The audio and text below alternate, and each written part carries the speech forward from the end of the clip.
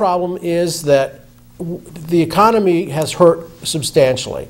And as a result of the economy, people not working, they're obviously not paying Social Security taxes, they're not paying FICA, and they've put out a new estimate that the Medicare funds will now run out in 2024, which was five years sooner than expected, and that the Social Security trust funds, that, the- the checks that you About get eight trillion dollars, uh, Well, it used to be. usually, well, uh, they claim that that's what we should have, including That's right, which of course we don't have. I mean, that's uh, going to run out in 2036, which is a year quicker than expected. Mm-hmm. And the trend is that these things keep on getting depleted more and more and more quickly and more quickly.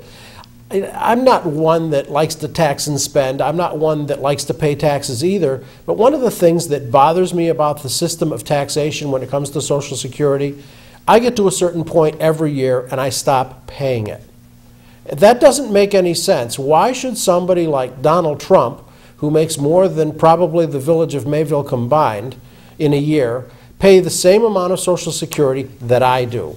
And I understand the argument is that it, it hurts, it, taxes aren't good, but you know, we're talking about 7.65% total.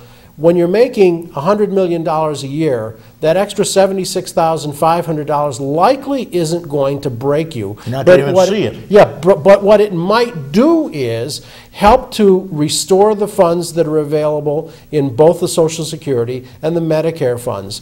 You know, I don't know that most people who are drawing Social Security and Medicare now would complain that Donald Trump should have to pay more than about $7,600 a year in Social Security. And the whole bunch of the one percent of the country now owns eighty and ninety Yeah. percent of all the wealth. And they're is- not paying their fair share. They haven't and they never will and- under the present congressional setup. Right. Now, One of the things that you mentioned too is inflation. Now, one of the hedges that I think you can get into, I, I buy them myself. I used to buy savings bonds, I still buy savings bonds. I used to buy the double E and then the E bonds.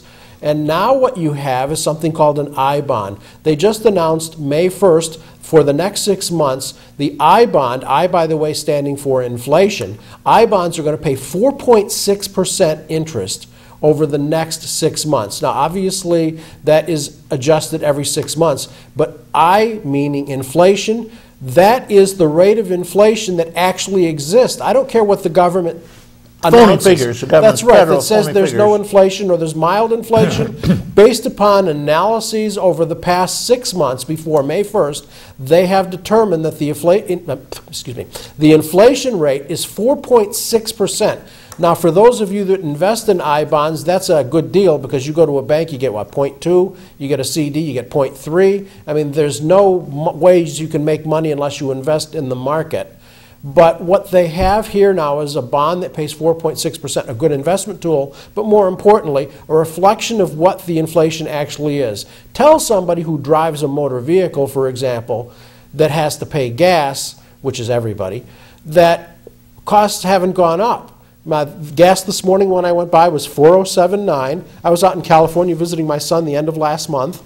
It was 437.9 there. It's up fifty percent in the last year. It is. And what's this four percent? Doesn't mean diddly when you're paying fifty percent more. Well, you know, the, the sad part about that is, and what I dislike about what's happening with oil prices are, every company has to make profit in order to survive, in order for the economy to thrive. However, uh, it seems to me like every three to five years, the oil speculators and oil companies decide that they're not making enough money, and they take the money from us in order to pad their pockets. Now, I don't mind them making a reasonable rate of return, but when you've got oil companies making $13 billion profit in a quarter, we're not talking about in a year, $13 billion profit in a quarter, don't you think there's some way that they can spread some of that wealth to the people that are making them wealthy to keep gas prices down And- somewhat? And furthermore, there's another criminal element there, and that is they're getting a big tax break because they need it. Who Uh, needs yeah, it? I When know. you're- When you, your economy, you're, you're making more money than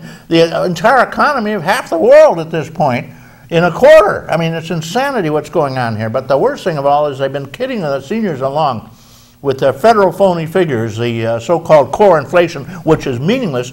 In the last eight years, seniors have lost 60% of their purchasing power. Now, what the hell are they supposed to do now? Yep. Get a job at 85 over Walmart?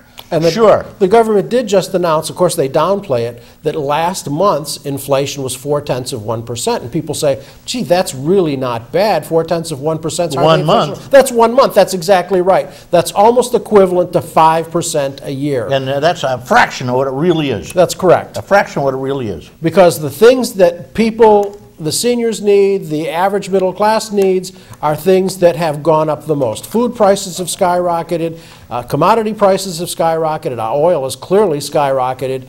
Those costs have gone up exceedingly more than the 4.8%, the 5%, the 7 tenths of 1%. And now they haven't given them any COLA for the last three years. Correct.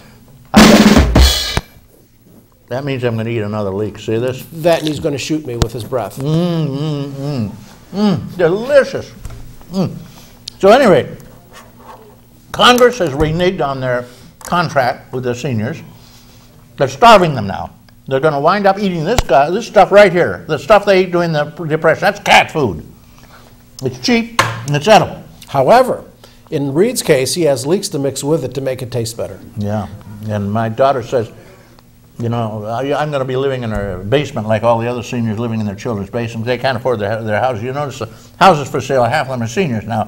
When the county puts them up for sale for taxes and stuff, I know. because they can't afford them anymore, they're losing their houses right and left. They're going to wind up, we're all going to wind up living in our children's basement and eating cat food. But my daughter says, don't worry, Dad, you will not have to eat cat food all the time. You get a hot dog on your birthday.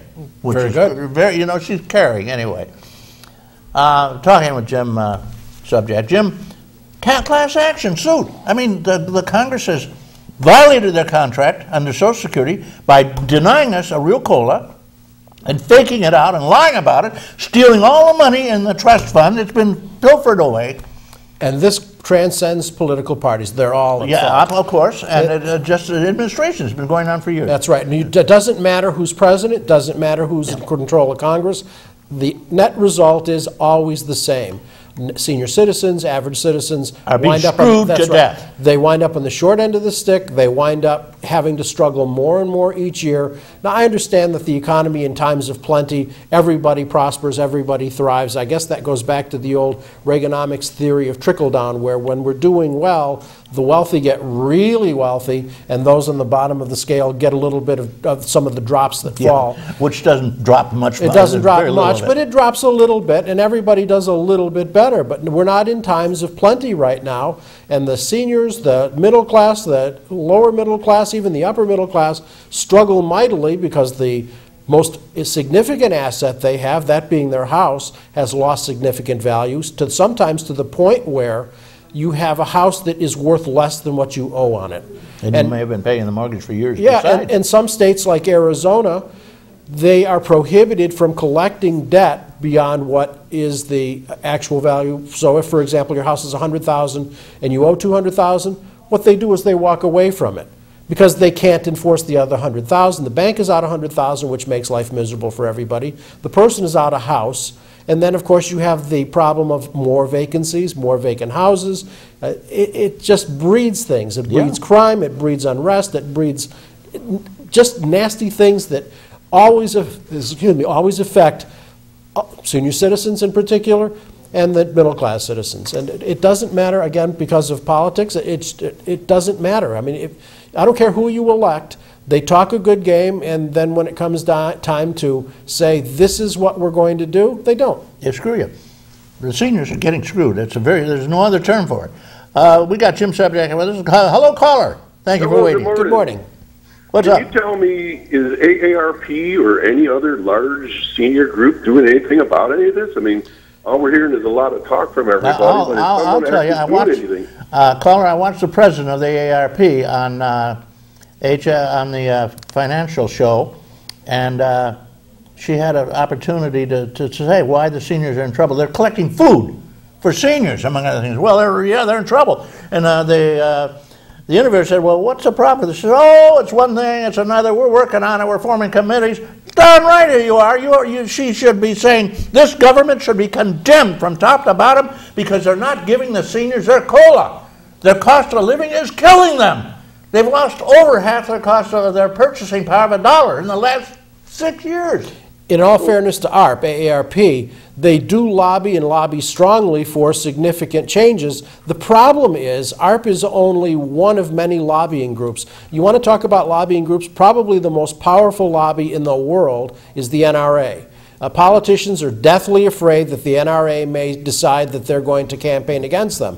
Whether their thoughts are just the opposite of what NRA believes or whether what you do believe in NRA. Doesn't matter. The point is they're a very powerful lobby, and as a consequence of it, they get their agenda passed.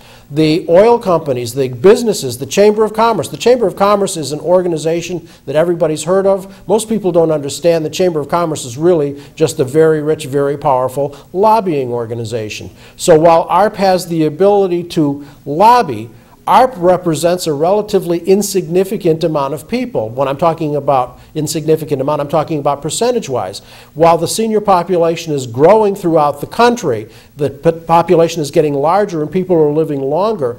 In the scheme of things, seniors don't comprise, I'm guessing, more than 15 or 20 percent of the entire population of the United States. That being the case, then those in power look at it and say, well, that's a smaller group than those, for example, of gun owners and gun rights activists. That they all vote. They all vote. They better watch the seniors. They, They vote. should, and I agree, but the problem is, is sometimes they don't vote. You look at elections nationwide, you look at elections regionally, and the pop, or the percentage of people turning out to vote is always pathetically small. And unfortunately, you have people complain about the state of politics, and half the times they're the ones that don't vote. I always say, if you don't participate in the system, you really don't have an absolute right to complain about it. Well, I want to say one thing about the ARP. They should be up front there. Telling, They are. You know, seniors are in a desperate emergency situation They have now, been. And I haven't heard a word, a peep out of them about this situation, the COLA not being granted That- to the seniors. that's correct. They have And not been- They should be all over that one. And uh, oh, yeah, every day I see half a dozen ads selling insurance. AARP sells a lot of insurance, that's for sure. Car insurance, life insurance, insur- long-term health insurance. insurance. Yes, I They know. did away with the, uh, they, they personally campaigned against the uh, catastrophic care uh, that was a bill that was passed a few years ago in Congress, and they, re- Congress reversed it. Well, it affects their insurance, their health insurance. Yeah. They're the biggest health insurance uh, company in the world, for Christ's sake. And uh, they say, well, we're not a health insurance company. Well, they get a billion dollars a year from their insurance people. And where does it go, incidentally? We're not sure. What's a good Lots point. of calls. Here, good morning, caller. Good morning. What's up? Good Morning. Um, I, I, I'm calling just to, to uh, uh, um, at, tell everybody I'm glad to be back. I've been gone for a while, and uh, that, Welcome back. Welcome back. Uh, um, How's your health? You okay? I'm okay right now. Yes. I'm eating a leek right now. I don't love leeks. Well, this, this is the time of the year. This Yep. is the time of the year. One morning you'll be able to smell it in your home. I was going to say, don't kiss anybody right now, though. No. Well, they got to have a leek. see, then they don't even know. Oh, that's true. That's true. That is true. Um, your guest was was talking about uh, el- elder care and Yeah. and also the laws that are there laws that are specifically just for the older people, or do you know all the laws apply to everybody, or do they have to have special laws to protect older people from? Well, sometimes it's it's abuse and things like that. Well, Actually, they do. I can't speak for every state, but there are states, our state, for example, does have special laws that protect seniors from physical abuse, from psychological abuse, from mental abuse. The real problem in many of the cases, and I can speak from my experience doing criminal law, which I've done for over 35 years, uh, is that oftentimes when it comes time to senior abuse, you have a witness who's unable to communicate the abuse that's been perpetrated upon them. And although there is a way to prosecute a case circumstantially, it's much more difficult to do than it is if you have direct evidence, that meaning an eyewitness to an event or somebody that's been the actual victim of the event to say and describe what occurred. So what you have is laws that are in place, but oftentimes difficult to enforce, mostly because even though It's kind of like when you have a kid at home and you see a broken egg on the floor. You know the egg didn't walk out of the refrigerator, roll off the cabinet, and fall on the floor by itself. It's likely your grandchild or your child that did that. Or the dog. Or the dog. Well, you know it happened that way, but you can't say that anybody witnessed it. And if you don't have anybody to say how it may have happened, then you can only presume how it happened, but as you know in the law, it requires proof beyond a reasonable doubt, and actually in a circumstantial evidence case, it's even more difficult. You have to